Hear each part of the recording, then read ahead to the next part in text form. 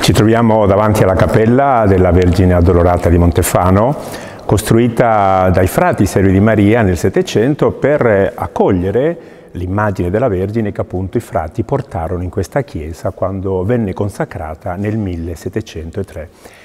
E questa cappella della Dolorata custodisce la memoria di un paese, il paese di Montefano e dei suoi, eh, dei, suoi territori attorno a Montefano, che ricorda anche le vicende, vicende anche dolorose, conflitti bellici, eh, carestie, epidemie, malattie, quando la Vergine Dolorata era un punto di riferimento importante, implorando che tutte queste situazioni difficili potessero essere superate. Ecco, noi oggi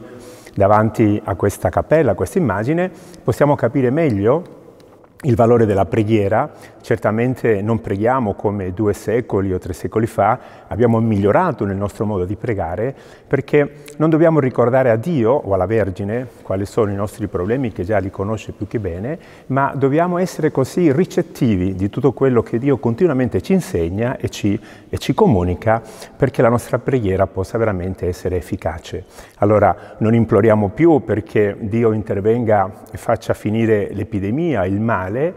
questo spetta alla scienza, spetta anche ai cittadini che devono anche sapere comportarsi bene, osservando tutte le norme che vengono emanate, ma soprattutto anche alla fede nostra, sapendo che il Padre ci promuove, che il Padre potenzia la nostra vita, questa è la vera preghiera, affinché possiamo trovare sempre delle vie nuove per crescere nella concordia, nella collaborazione e nel servizio agli altri e in quell'accoglienza che dimostra che il Padre abita in noi. Quindi vogliamo ringraziare